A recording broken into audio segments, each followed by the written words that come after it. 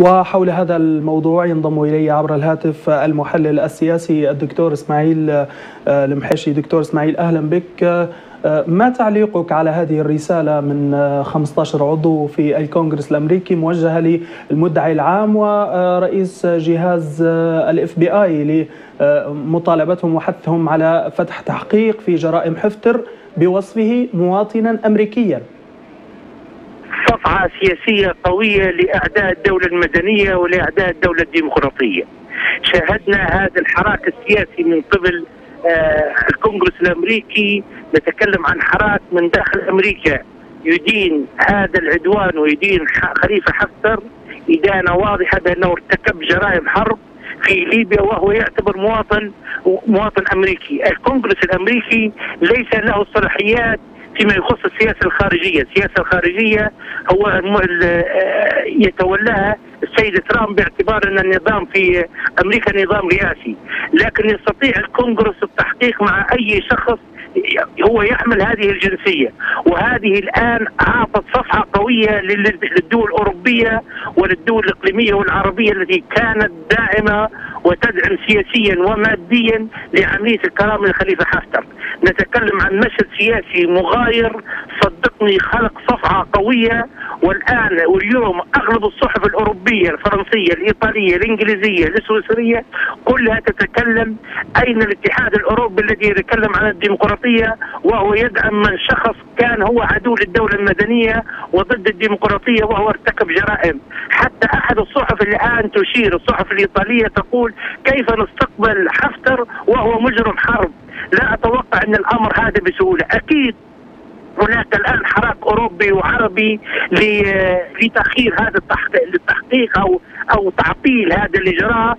لكن صدقني المشهد السياسي تغير بالكامل المشهد السياسي الدولي وعلينا نحن كليبيين استثمار هذه الصفعة السياسية وأن تكون هناك قوة سياسية حقيقية تؤمن بمدنية الدولة في ليبيا للتوافق على مشروع مشروع دستور حقيقي يكون هو المفصل في تكوين الدولة الليبية الحديثة. ولا نضيع الوقت في القال والقال هناك حراك قوي بعد هذه الصفحة. هناك نتكلم عن انتخابات 2020 لأمريكا نتكلم عن انتخابات الآن في الاتحاد الأوروبي. هناك ربطة سياسية على المستوى الإقليمي والعربي والدولي حتى الحقوقي الآن حتى مجلس الأمن صدقني هذه الصفحة. أمس ماذا يتكلم غسان سلامة؟ أمس كان يحاور في خليفة حفتر. شاهدنا سفراء الدول الكبرى موجودين في عند الرجم عند خليفة حفتر يتكلمون عليه كانه هو الذي كان يحارب في الارهاب وهو الذي يؤكد على دعم للديمقراطية والدولة المدنية. والآن أصبح متهم في قضايا انتهاكات لحقوق الإنسان وكذلك انتهاكات حدثت حسب القانون الأمريكي وهذا هذا الشخص يمتلك الجنسيه الأمريكية.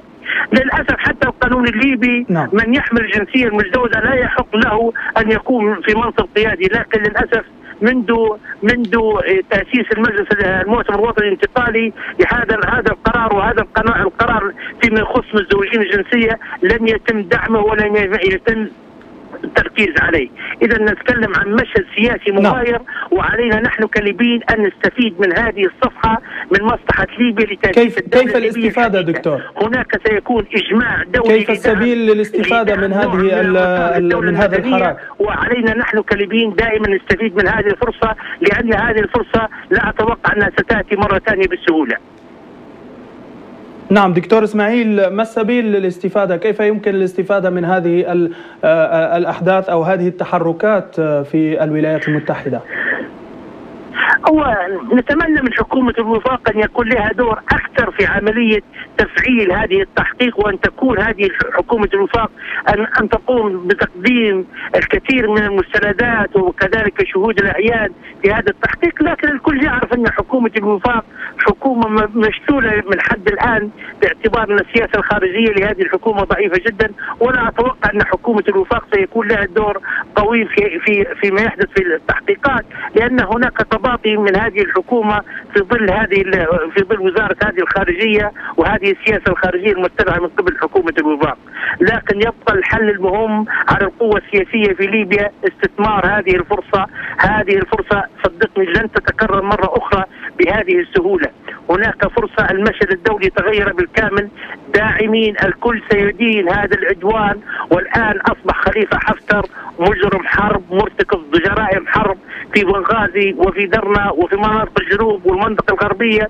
ونحن علينا دعم مسار هذا التحقيق نعم. بالضغط على حكومة الوفاق أن يكون لها دور إيجابي. لكن أكيد هناك دول أوروبية وهناك حراك لدول عربية لتعطيل هذا هذا التحقيق. هذا الإجراء متوقع. لكن لا أتوقع دخول أعضاء من الكونغرس الأمريكي في في هذه النقطة بالتحديد.